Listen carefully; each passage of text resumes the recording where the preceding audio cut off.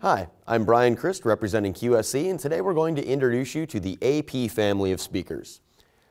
AP stands for Acoustic Performance and QSC has really hit the ball out of the park on this one.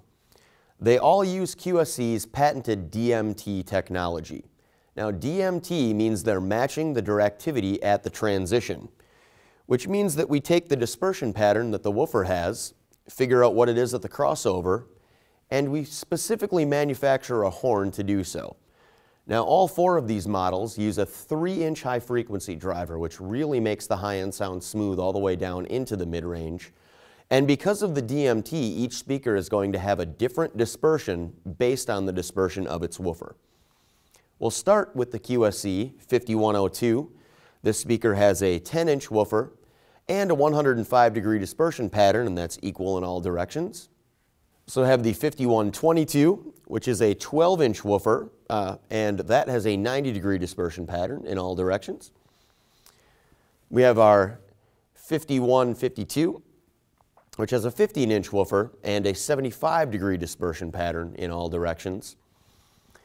Additionally, we do have the 5122M, which can be used both as a monitor enclosure or a speaker thanks to its pole mount, and it does share the same pole mount system as the K and KW series, so you can either have it aiming straight out or downward at 7.5 degrees.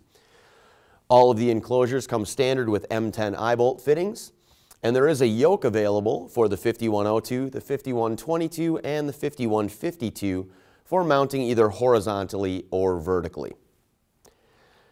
All speakers average around 500 watts of power handling. It varies slightly from the little guy up to the big guy. But now we're going to let you take a quick listen. We have a reference mic placed about six feet away on axis from our 5102. We're just going to play you a little track.